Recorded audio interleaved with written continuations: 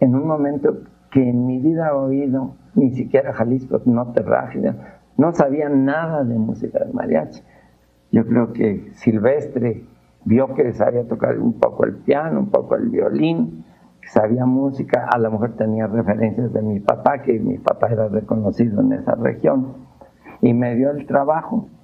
Pero entonces yo nunca pensé que lo estaba cambiando realmente, sino yo pensé que los estaba pues como medio arreglando, ¿verdad?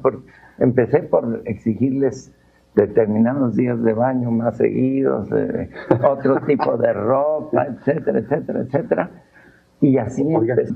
Tuve la fortuna de poder correrlos casi a todos. Antes de dos años, todos eran nuevos, menos Silvestre, su papá, y Miguel Martínez. prácticamente todos. ¿Pero cómo le hizo para ganar usted el, liderazgo ahí? Pues era muy chiquillo. Pues yo creo que Silvestre me tenía confianza. Y además yo también le servía, nos servíamos mutuamente. Mis ideas a Silvestre, las de Silvestre. A mí el caso es que pudimos eh, hacer esos cambios.